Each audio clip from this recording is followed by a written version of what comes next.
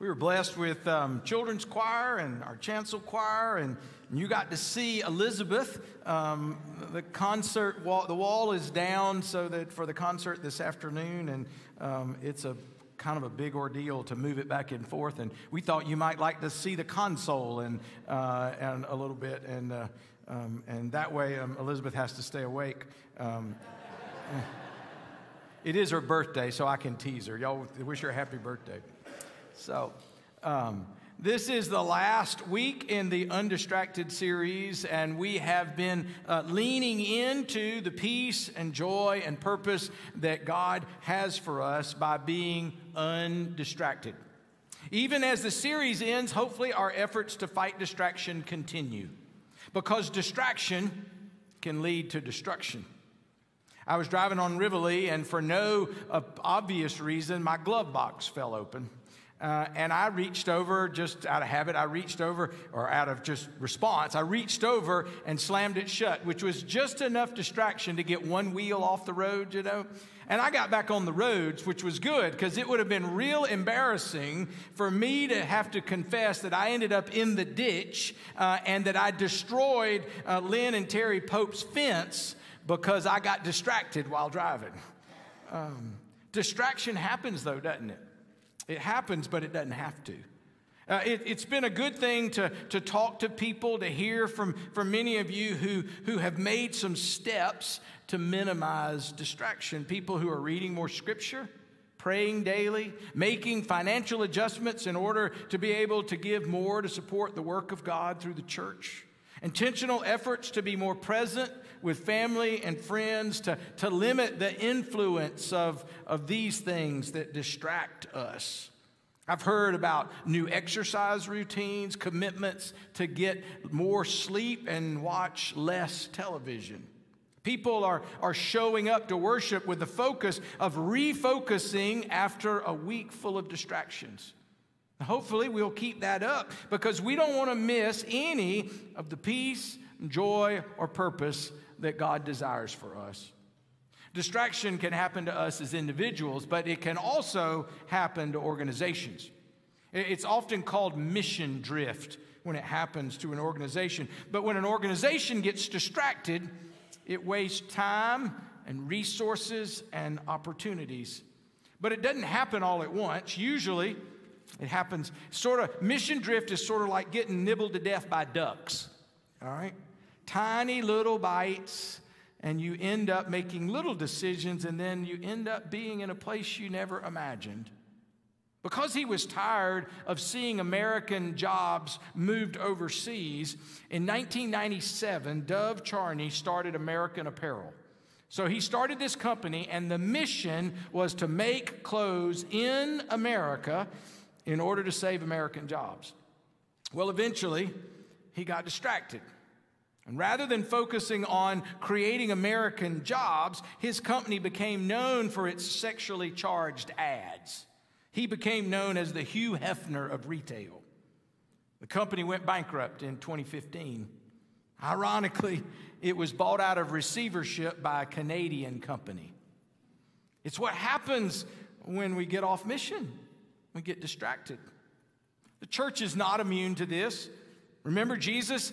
James and John come to Jesus and say, Can we sit one on your right and one on your left? And in Mark and, and Mark 10, and Jesus says, You don't know what you're asking.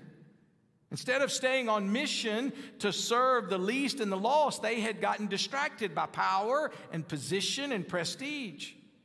Remember the day that Jesus drove the money changers out of the temple? Matthew reports that, uh, that, that, they, with a, with a whip in John, Matthew says, he says to the disciples, to all those there, this should be a house of prayer, but you've made it a den of thieves.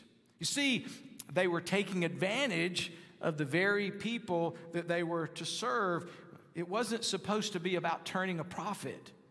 They got distracted.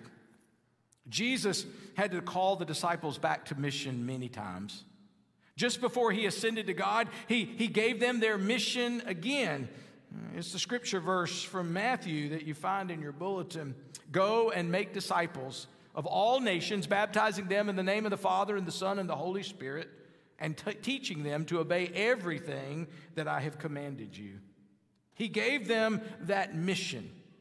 It's where we get our mission as the United Methodist Church.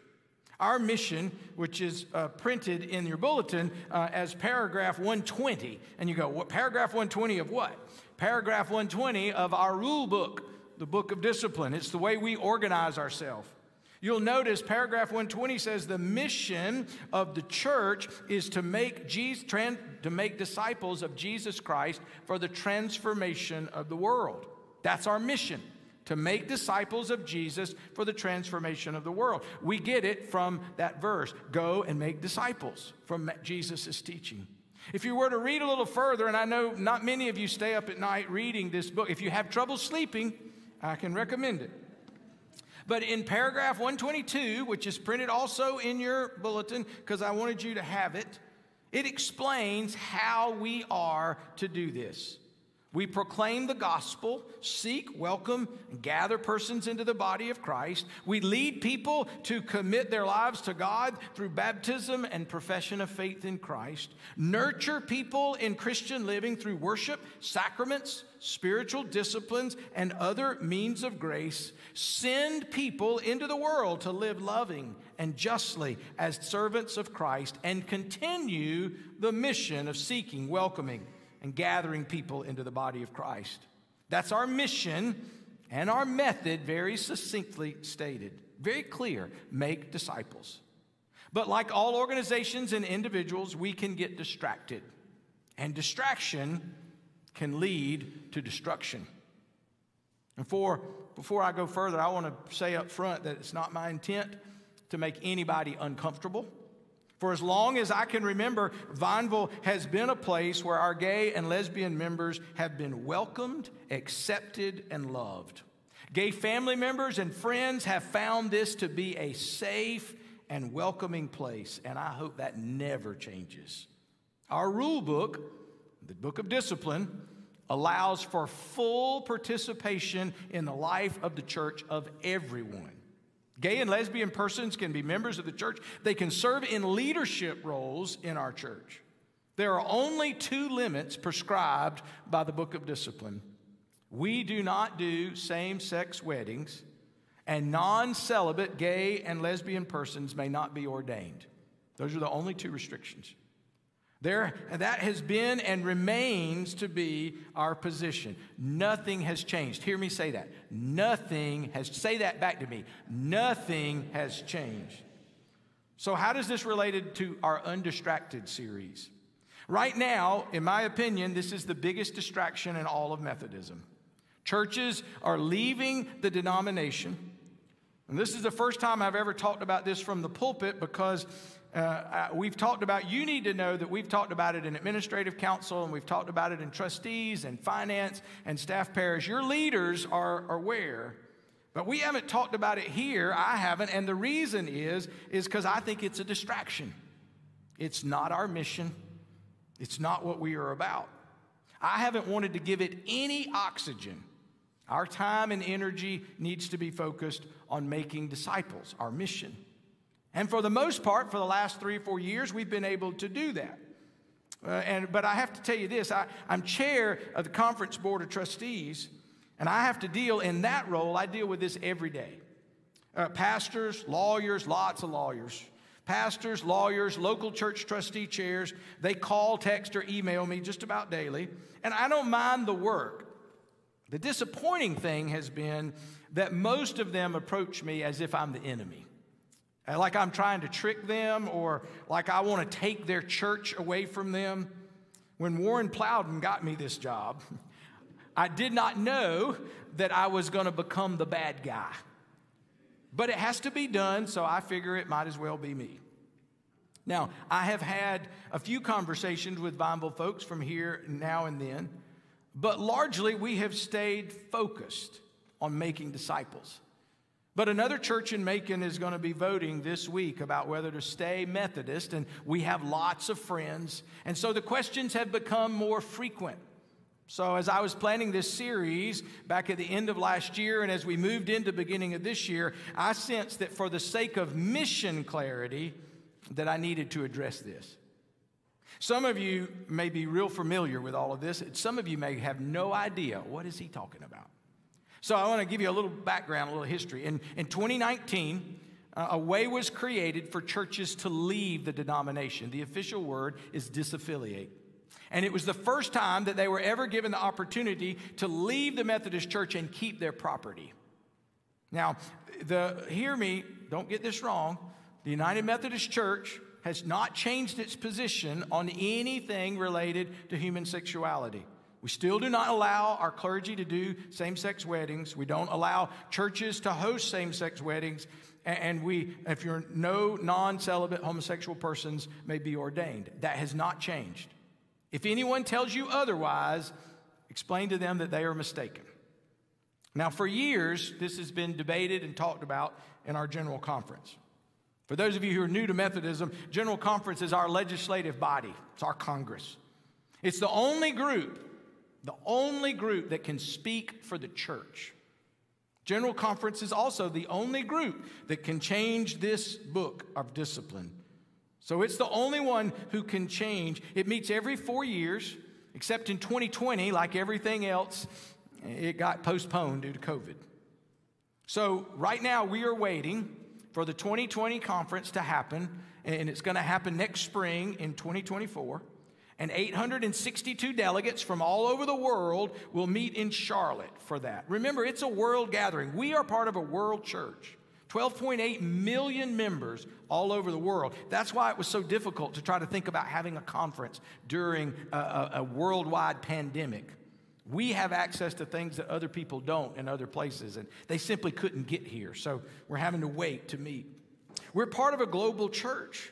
You think about, we have 12.8 million members around the world. 6.2 million of them are in the U.S. church. There are 30,543 United Methodist Church in the, churches in the United States. It's a big church. 6.2 million members, 30,543 churches. 46% of our members in the churches in the world are in Africa and in the Philippines. We are a church that is truly global. Delegates that are elected by annual conferences come together and they, they study for two years. They get together in a group, they pray, they worship, they study, and then they make decisions about how we will do things as Methodists. In 2012, and 2016, there was, was legislation that proposed changing the language in our book of discipline. Both times it was defeated. In 2019, uh, at a special called session just to deal with this issue, the same thing occurred. A plan that was offered to eliminate the language um, that allowed, that, that disapproved of same sex weddings was defeated, and the current language was maintained by a greater margin, and the only thing that changed was mandatory penalties were put in place. So if a clergy person does a same sex wedding, now there is a mandatory penalty that is in place. And before, that was not the case.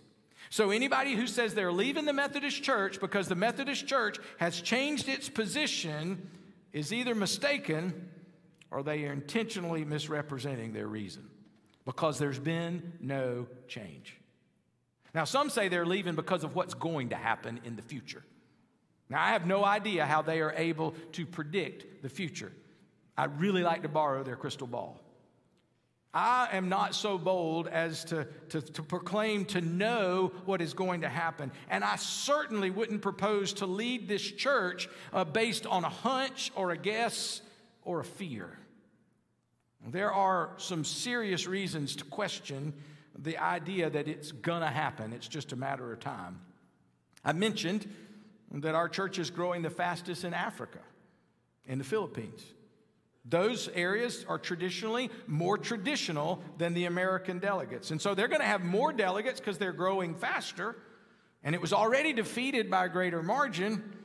And the makeup of the delegates becoming more traditional, it makes it unlikely that the language would change ever, but certainly not soon. But still, some churches are voting to leave. You may be aware in our community, Liberty and Forest Hills, they voted last year to leave the Methodist Church. Martha Bowman will vote this Thursday. Sometimes I get asked, when are we going to vote? I say, we're not. because churches aren't required to vote. There's no requirement. You only vote if you want to leave the United Methodist Church. In South Georgia, there are some churches voting, a lot of churches. But when you look at the number of churches across the country, it's really very small. I told you there were 30,543 churches in America, United Methodist churches. So 2,000 have voted to leave, and they expect another 1,000 to vote this year. So 3,000 out of 30,500, that's less than 10%. It's really a small number. Of those that have voted to leave, about half, about 1,500, 1,600 of those, have decided that they're going to affiliate with a new denomination called the Global Methodist Church. The other half are going to remain independent or join churches like the Free Will Methodist or the Congregational Methodist or the Nazarenes, all of which are much smaller than the United Methodist Church. So, to be clear, not everybody's voting. If you, if everybody's voting, no, they're not. 90% of the United Methodist Church in the United States is not voting. And I think that's because most people realize that this is not our mission, it's a distraction.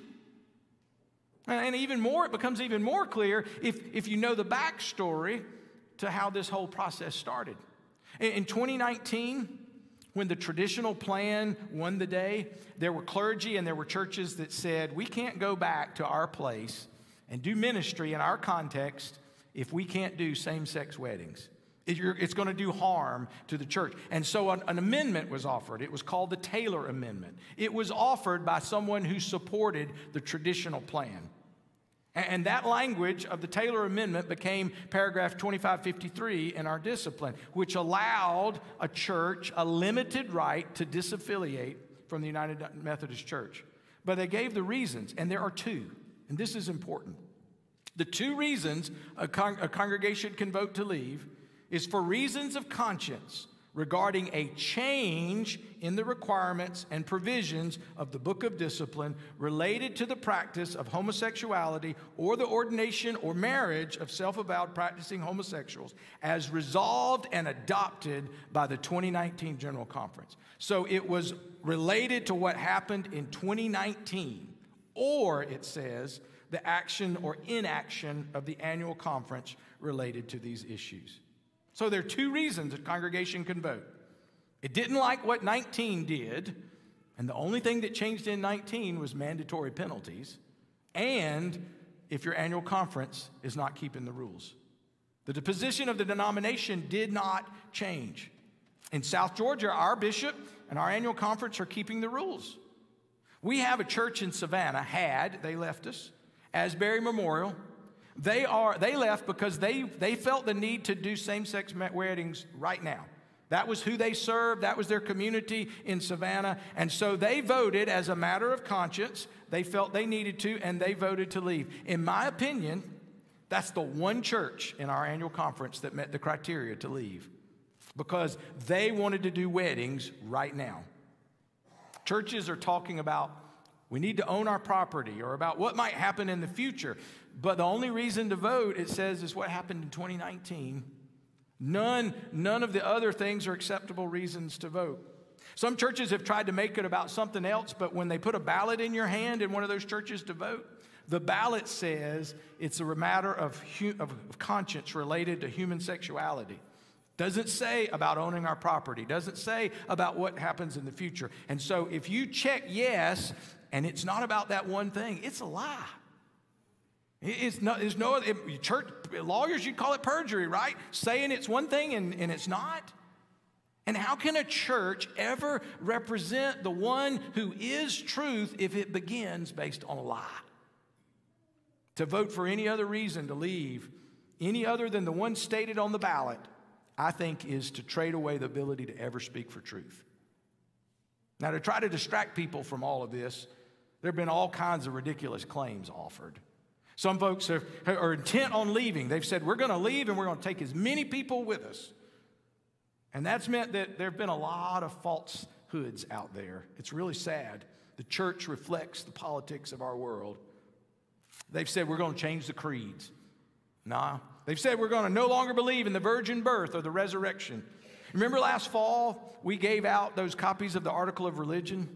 We passed, encourage everybody to read that. That was your homework. Remember, we said, and the restrictive rules said, those things can't be changed. There, the fact is, is that the belief in the divinity of Christ, the virgin birth, the resurrection of Jesus, and other foundational beliefs, none of that is on the table. I don't know of anybody who wants to change any of it. It's not under attack. That's a distraction. Now, I'm not saying there haven't been people who said things that are get misconstrued. With 49,000 United Methodist preachers on this planet, the chances that somebody said something dumb are pretty high. All right? I'm just saying. But remember, nobody speaks for the church but who? But General Conference. So even if one preacher or a group of preachers says something dumb or something you disagree with, if they're not the General Conference, they can't change the path of the church. Somebody, member here, came to my office all worked up because a bishop had said he didn't believe in the bodily resurrection of Jesus.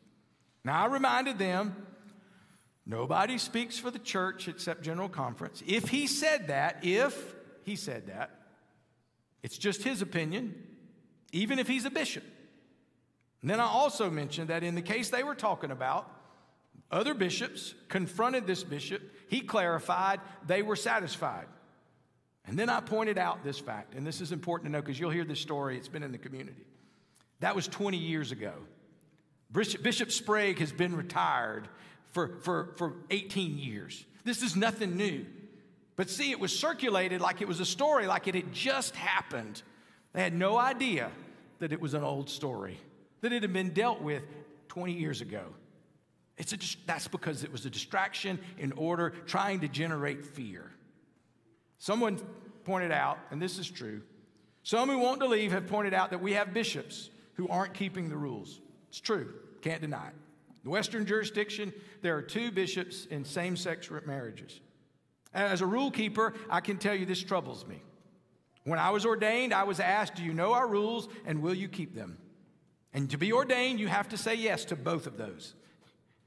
They were asked the same questions. So, as a rule keeper, that bothers me. I know they intend their actions as civil disobedience. They think it's a matter of justice.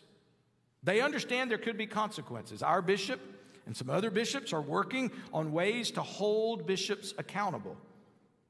If you know anything about our history, though, I think you need to know this. It's an ironic twist of history that we're in the situation that we are. You see, we, we, have, we have a bishop who breaks a rule on the West Coast, and we in the South don't like it, and we can't do anything about it. You see, in 1939, when the church was reorganized, it was us Southerners who insisted on the jurisdictional structure and that no jurisdiction could interfere in the affairs of the other jurisdiction.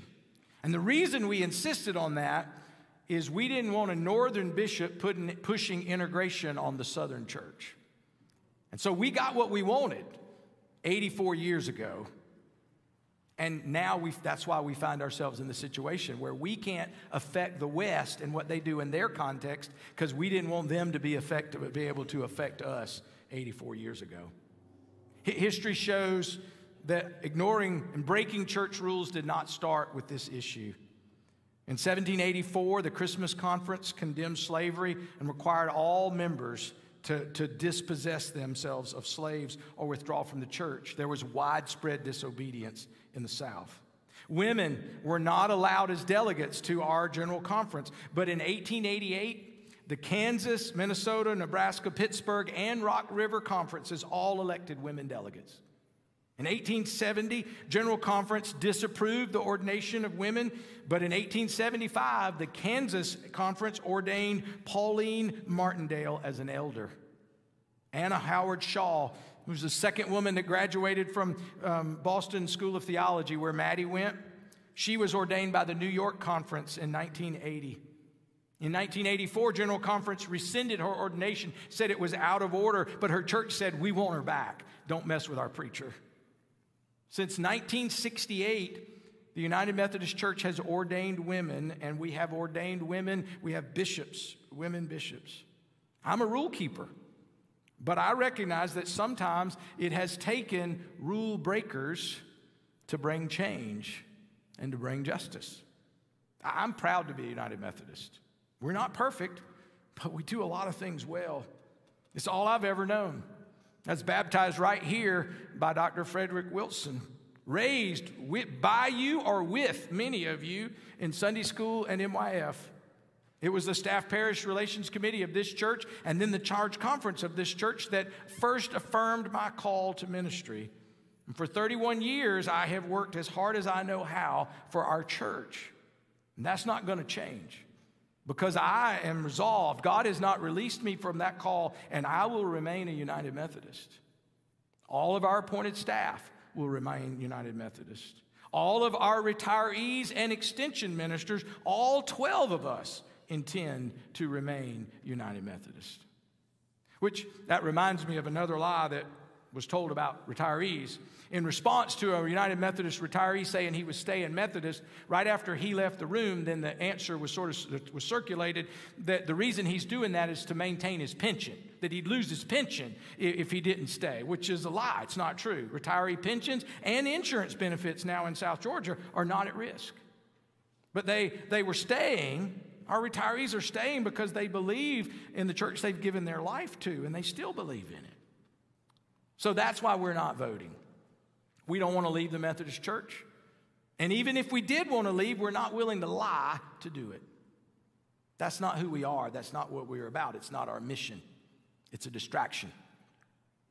The work of God here is too important to be distracted, to have another church destroyed. One Liberty in South Bibb voted to leave our denomination last year. They're still looking for a pastor. A year later, they, they haven't been able to find anybody who will come and be their pastor. And there are others in that same boat. The time and money and energy that this is consuming, I believe, is all exp- the expense of mission, ministry, and kingdom work. God is doing great things in and through this church. So, why would we want to mess that up? Why would we put that at risk for a distraction?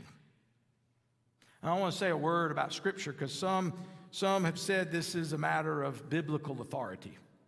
We at Bible have a high view of Scripture. We encourage you to read the Bible every day.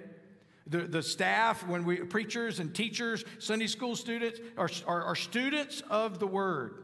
We believe the Bible contains everything necessary for salvation, but we're not literalists. We never have been. Methodists have never been fundamentalist.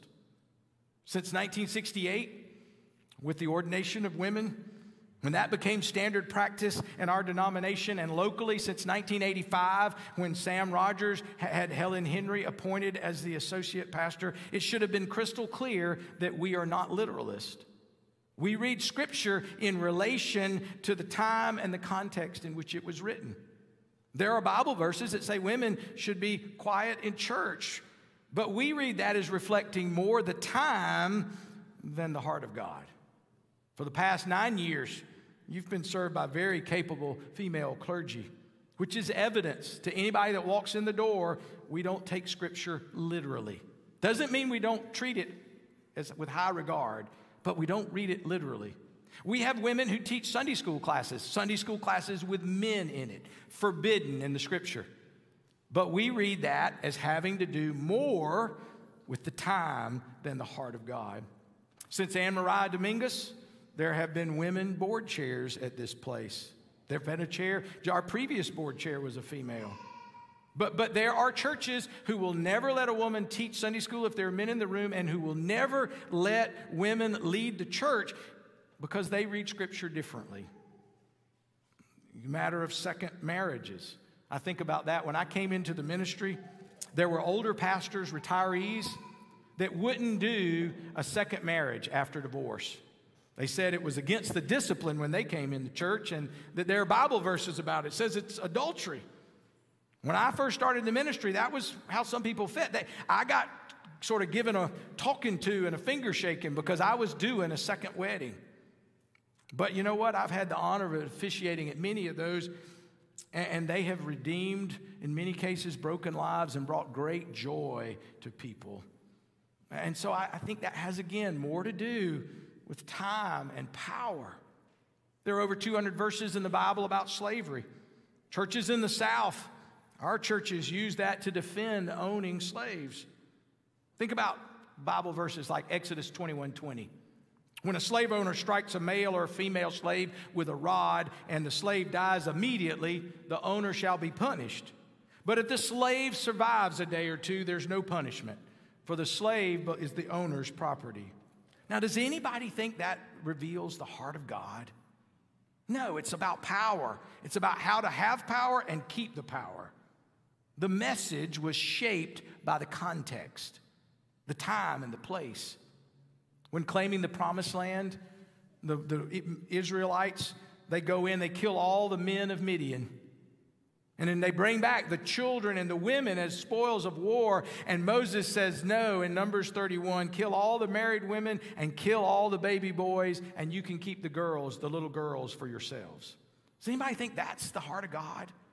I don't think so. I think that reveals what people will do to each other under the, in the name of fear and security.